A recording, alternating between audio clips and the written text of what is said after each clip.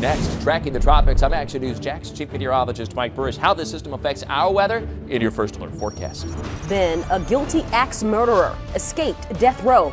We break down the trial mistake allowing this local convicted killer to walk free again. Plus, they have brought together a team of experts in active shooter attacks. We'll tell you about the training the city's investing in to protect students during dangerous school emergencies. When we're not prepared, that's when we're seeing these things happen. Next on Action News Jax, local coverage you can count on.